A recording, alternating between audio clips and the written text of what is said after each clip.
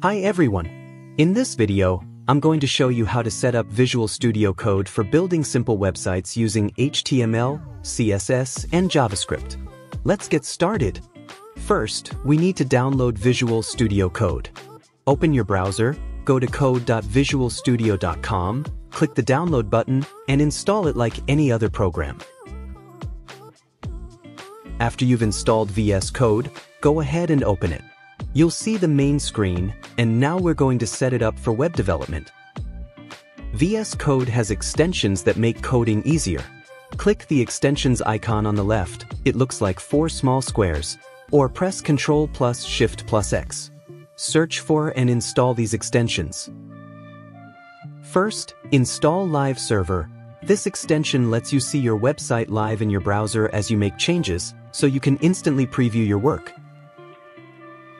Next, install Prettier. This extension automatically formats your code, keeping it clean, well-organized, and easy to read.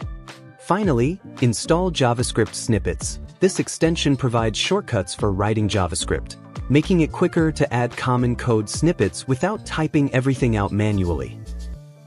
Now, we need to create a folder for your website files. Go to your computer, make a new folder, and name it something like Code. Then, go back to VS Code and open this folder by clicking File, Open Folder. Inside this folder, let's create three files. Name the first file index.html, the second one style.css, and the third script.js. These will be your HTML, CSS, and JavaScript files. Let's add some code to your index.html file. Open index.html and type this. This code creates a basic web page and links it to your CSS and JavaScript files. Now, let's add some styles to your website. Open style.css and type this. This CSS will center your content on the page and style the text to look nice. Finally, let's add a small piece of JavaScript. Open script.js and type this.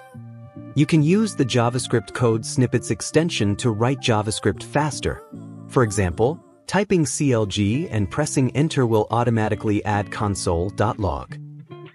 Now let's see your website. Right-click on index.html and select Open with Live Server.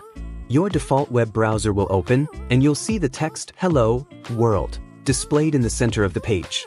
To see the JavaScript message, press F12 to open the browser's developer tools and go to the Console tab. You'll see Welcome to my website. That's it. You've set up Visual Studio Code for HTML, CSS, and JavaScript. Now you're ready to build awesome websites. If this helped, please like, subscribe, and hit the bell for more tutorials. Thanks for watching.